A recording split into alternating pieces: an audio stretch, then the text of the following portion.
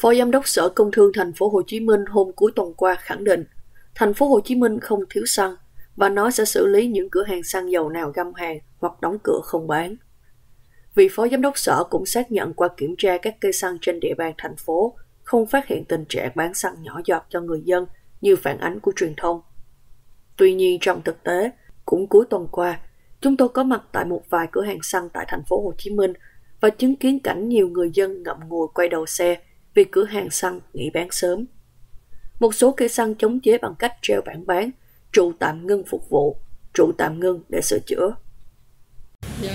chỉ có chạy đi ra ngoài ngõ 6 mới có cây xăng lên. Kêu gác đó, người ta, người ta đẩy ra ngoài cho bên hôm đi qua. Cái đó là cây xăng 24 trên 24 luôn. Không phải như mấy xăng này đâu. bây giờ là chỉ được đổ từ 50 đổ xuống à bây giờ đang có xăng anh đi đi đi đi kiếm cây xăng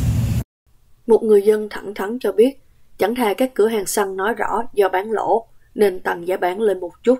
người dân cũng sẽ chấp nhận, còn hơn là đóng cửa, đẩy người dân vào thế khó. Bán hàng là nó muốn ờ, đợi giá tăng lên để nó kiếm lời nếu mà đúng á, thì cứ kêu là tăng tăng lên giá không giờ, giờ tôi mua tôi trả thêm cho ông cơ lý tôi trả ông thêm mấy ngàn nữa rồi. Nói nói chung là khi mà nó làm lạm phát nên thì giá cả nó tăng lên thôi chứ cái gì ví dụ cái gì nó chạy sang xăng thì cái gì nó cũng tăng giá lên thôi. Giá vận chuyển rồi tiền trọ tiền nước nói chung cái gì nó ăn theo xăng nó cũng lên hết ạ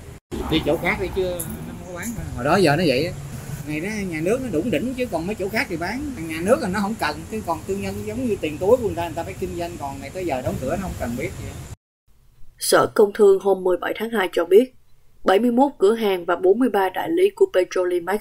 chiếm hơn 1 phần 5 số cửa hàng bán lẻ của thành phố Hồ Chí Minh đã tăng giờ bán so với trước. Trong đó, 27 cửa hàng phục vụ 24 trên 24, còn lại hoạt động từ 6 đến 24 giờ một ngày. Tính bình quân mỗi cửa hàng tăng 4 giờ bán hàng. Tuy vậy, một nhân viên tại cửa hàng xăng khi được hỏi tại sao mới 9 giờ đóng cửa, cô này giải thích.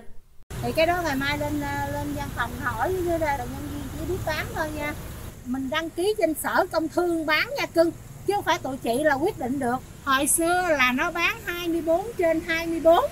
còn bây giờ từ lúc dịch tới bây giờ là nó đăng ký là bán từ 5 giờ cho tới 21 giờ chứ không phải mới bán ngày hôm qua hôm nay là nghỉ em phải hiểu vấn đề đó tụi chị mệt quá tụi chị là người bán ở trên điều sao là tụi chị bán vậy Rõ ràng qua ghi nhận trên, tình trạng vài cửa hàng bán xăng dầu tại thành phố Hồ Chí Minh đóng cửa sớm hoặc chỉ bán giới hạn 50.000 đồng cho mỗi xe là có thật. Chưa biết Sở Công Thương thành phố Hồ Chí Minh sẽ chấn chỉnh ra sao, nhưng trước mắt, những phát ngôn của Phó Giám đốc Sở đang khiến nhiều người ngờ vực.